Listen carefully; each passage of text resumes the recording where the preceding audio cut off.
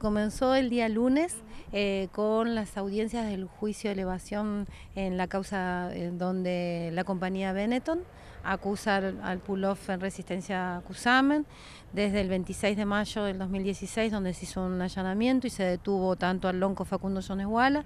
como a siete miembros eh, del, del pull-off se llevó a cabo esta audiencia en donde tanto la defensa pública como la defensa particular que yo ejerzo, sin la presencia de Facundo Jones si bien se ha solicitado su extradición,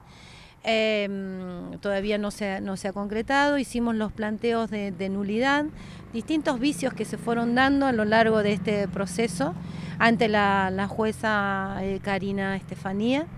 Eh, a lo cual en el día de ayer la Fiscalía respondió a nuestras eh, peticiones de nulidad, por supuesto rechazándolas, y eh, el día jueves, es decir, mañana a las 10 de la mañana, tendremos la resolución por parte de su señoría. Doctora, eh, ¿los testigos fueron citados? No todavía, estas son cuestiones preliminares, es decir, implican nulidades tanto en, la detención, en, eh, sabemos que esta, esta causa ha tenido más de ocho fiscales, eh, ha tenido, se ha basado en un informe policial sustentado en la tortura y en tratos crueles contra un comunero mapuche, al cual el mismo juez Otranto declaró la nulidad del primer juicio de extradición de Facundo En función de ese informe policial. La segunda nulidad es el allanamiento que se llevó a cabo en mayo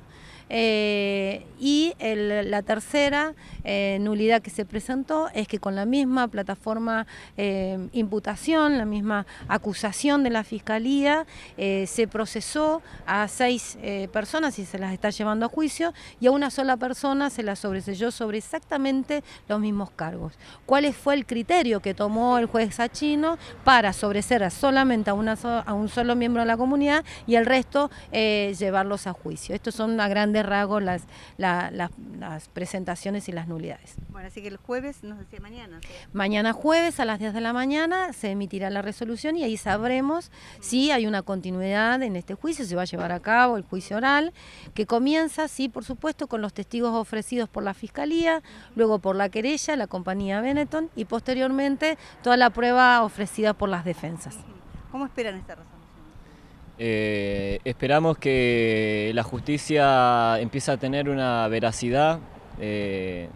en torno bueno, a, este, estos conflictos políticos históricos, porque la recuperación de Pulov Kusamen, de las comunidades que vienen sosteniendo el control territorial, eh, solamente es un hecho más de las recuperaciones que siempre se han dado en la zona, siempre se han dado en el territorio mapuche, como el ejercicio del derecho propio que tenemos para llevar adelante esta forma de vida milenaria, las prácticas culturales, ejerciendo los derechos políticos, territoriales, culturales, espirituales. Em, así que esperamos que de una vez por todas la justicia realmente se empiece a encaminar bajo los términos y la lógica propia que debiera tener la justicia.